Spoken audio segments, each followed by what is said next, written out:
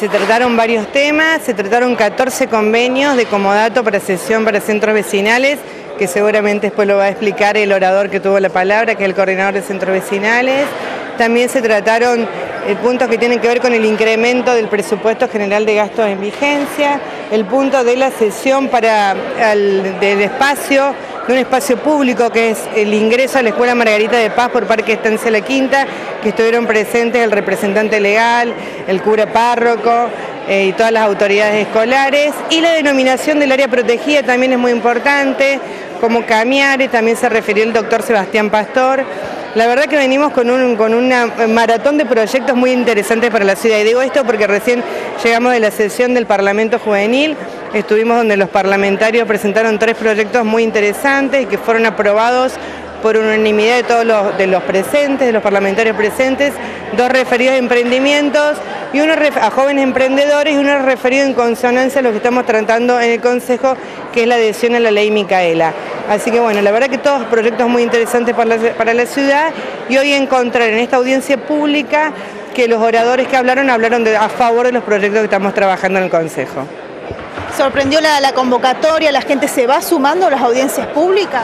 La gente se va sumando a las audiencias públicas, la gente está informada, yo digo, acá hay una coordinación de centros vecinales también que está trabajando muy bien, por eso este, no hizo falta que cada centro vecinal viniera a defender su proyecto porque están muy bien representados por la coordinación. Yo creo que, que, sí, depende también de las temáticas, si las temáticas son convocantes o no. Y en este caso, como nos está ocurriendo en las últimas audiencias públicas, la gente que se presenta se manifiesta a favor de los proyectos, así que realmente nos facilita muchísimo la tarea a los concejales. Sí, estuvimos eh, como orador en estos 14 puntos, que son los 14 convenios que se vienen a actualizar eh, ya de esta manera formal. La verdad que estamos eh, muy contentos porque es una nueva manera de, venir trabajando en lo que es la regularización institucional de cada uno de los centros vecinales.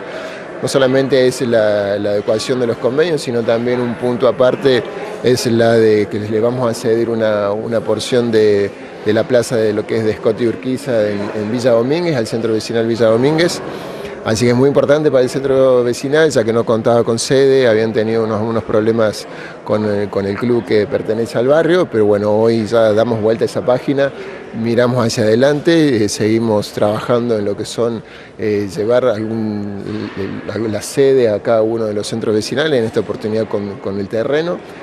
Así que contentos porque ya estamos finalizando prácticamente con lo que es este tema de la regularización institucional, bueno, planteando los nuevos objetivos eh, de ahora en más en lo que va a ser la planificación y, la reorganización de la calidad institucional de cada uno de los centros vecinales. ¿Estos convenios específicamente de qué tratan? Estos convenios específicamente tratan de lo que son el comodato, el préstamo que tiene eh, lo que le da al municipio, al centro vecinal, sabiendo de que eh, el inmueble en que ellos están pertenecen al, son patrimonio de la municipalidad, se queda especificado el tiempo y, lo que es el destino de lo que es el inmueble, ¿no? Así que, pero estos convenios se han trabajado con los centros vecinales, con las comisiones, ya no sea de ahora, sino también de antes, eh, los cuales son genéricos,